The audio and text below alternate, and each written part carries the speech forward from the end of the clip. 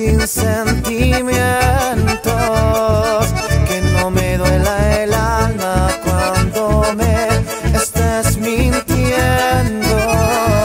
Quisiera ser como tú y olvidar nuestros momentos, pero no soy como tú y aquí sí estoy muy